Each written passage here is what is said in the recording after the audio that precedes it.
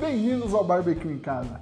Hoje eu vou mostrar para vocês como preparar uma deliciosa, prática, super rápida salada de macarrão, o acompanhamento ideal para o seu churrasco. Vamos lá?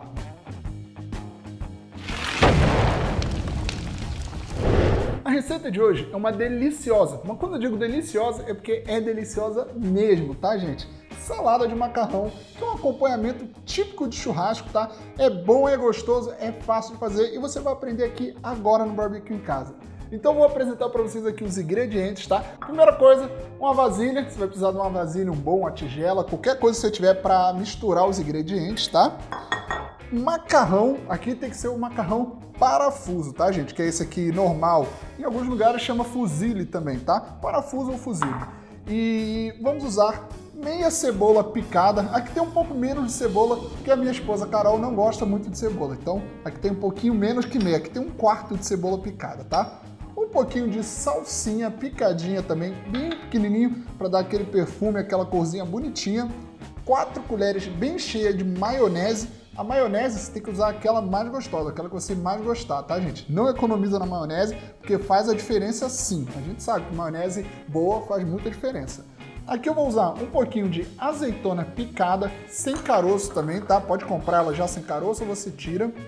Presunto picado, é tudo meio a gosto as medidas, tá, gente? Então não vou passar para vocês uma, uma quantidade certa. Então, até porque você pode fazer mais ou pode fazer menos na sua casa.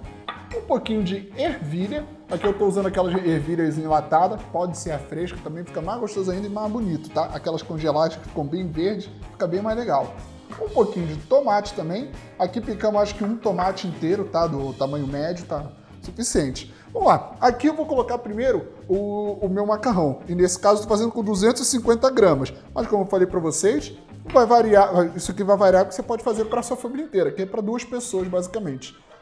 Agora que eu coloquei aqui o macarrão, eu vou entrar com a maionese. Já vou jogar aqui, ó, 4 colheres de maionese. Colocou a maionese, vamos entrar com a cebola. Um pouquinho da cebola picadinha, tá, gente? Aqui é cebola crua mesmo, não, não tem problema nenhum ser crua, tá? E é bem pouquinho, bem picadinha, fininha. Ela vai se espalhar, só vai dar aquele ardidinho de leve no fundinho, tá? Vamos colocar aqui a salsinha, salsinha também a gosto. Vou dar uma boa caprichada aqui, porque a gente adora salsinha nessa casa. Se você não gosta, coloca menos, tá? Aqui já tá bom. Vou colocar essas azeitonas, o presunto picado. Se você quiser, é legal você colocar o presunto também em cubinhos, tá? Você corta ele em quadradinhos pequenininhos e joga aqui, fica mais bonito até. Eu comprei ele fatiado e piquei. Então vamos colocar aqui ele picadinho.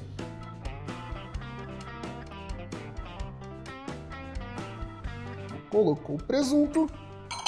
Vamos entrar com essa ervilha um pouquinho só de ervilha. Não precisa pôr bastante. Eu não gosto muito de ervilha, eu coloco sempre menos do que qualquer outra coisa, tá? Vou colocar aqui o tomate. Tomate eu gosto bastante, coloco bastante, claro. É sempre assim, você vai, você vai acrescentando à medida que você gosta. E agora, antes de misturar tudo isso, eu vou colocar um pouquinho de sal e azeite. Então deixa eu pegar aqui, ó, o azeite. Jogar aqui um bom azeite, tá, gente? Ó, uma quantidade razoável um pouquinho de sal também. Bom, tá bom. Lembrando que eu não tinha colocado sal em nada, tá? Só coloquei um pouquinho de nada de sal na água que eu cozinhei o macarrão. Então vamos começar a misturar essa belezinha.